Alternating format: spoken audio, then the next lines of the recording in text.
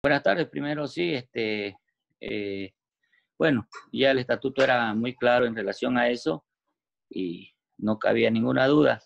Ya este, todos los miembros del comité eh, pusieron su postura y, bueno, designándome como el presidente de la federación. Y bueno, como estamos acá, lleguemos, ya estamos sacando un comunicado para todo conocimiento de todo.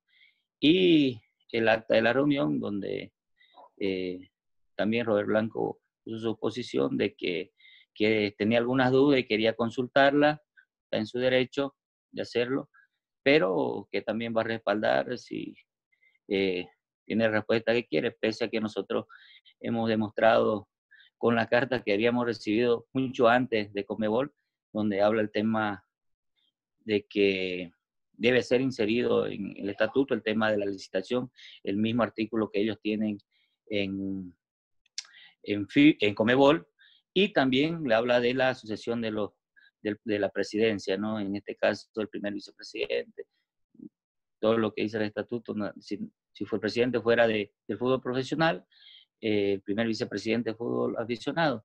Y bueno, la verdad es que no es la primera vez que yo asumo eh, la presidencia en ausencia de, del presidente anteriormente, don César, que ahora ya no está con nosotros, pero eh, cuando él eh, iba de viaje, este, yo asumía la presidencia y bueno, eso ya está claro y, y ya no vuelve, ¿no?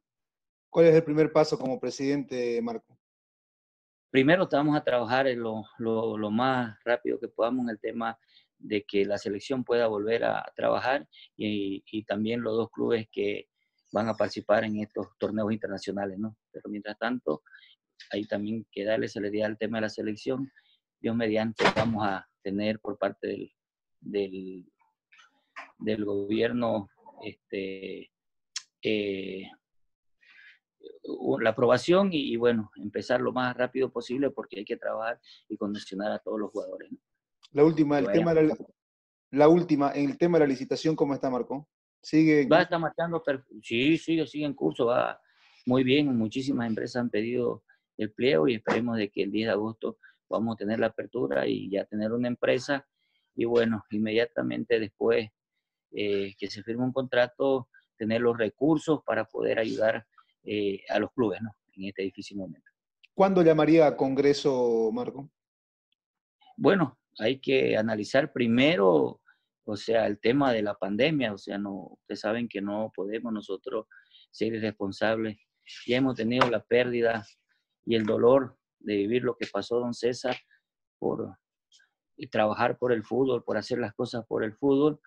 Y bueno, no, que, no queremos más tener ninguna tragedia eh, a través de ello, que una vez podamos nosotros tener transitabilidad libre y poder reunirnos grupalmente, téngalo por seguro que lo vamos a hacer porque hay que hacerlo, es un deber y bueno, es una obligación hacer esto y, y, lo vamos a hacer, porque nadie está aferrándose a nada, simplemente que hay que cumplir las cosas eh, como son y no podemos ser irresponsables o apresurados sabiendo de que tenemos una enfermedad que está en crecimiento, todavía no ha empezado a,